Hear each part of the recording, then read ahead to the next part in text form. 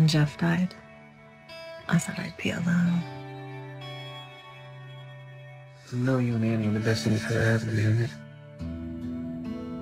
Mom, it's David.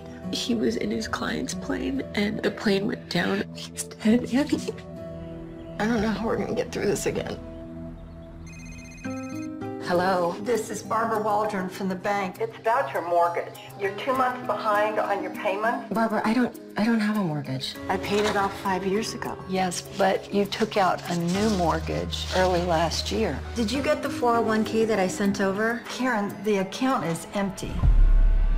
It was brought to my attention that you took out a very large life insurance policy. Is that true? No, he took that out. I didn't know anything about that. I think David was his perfect husband, but what if he wasn't? I had Joe check in with his friend at Vital Records about David's birth certificate. They couldn't find it. They did find a David Miller with your husband's birth date and social security number. He died five years ago. David, he wasn't who he said he was.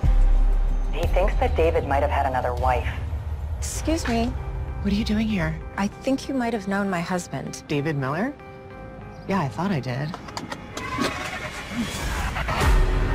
Are you saying David's still alive?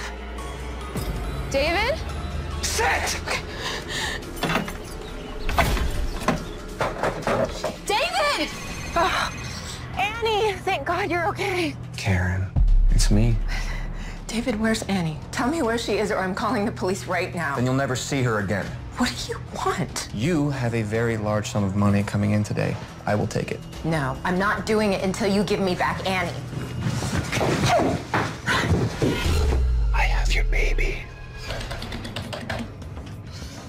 Took your money. You don't know who you're messing with! What do you want? I want the money! I need to see my daughter right now.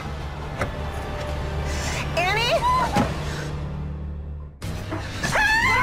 Karen! But you're just like all the rest! I don't know. Where is she? I don't know.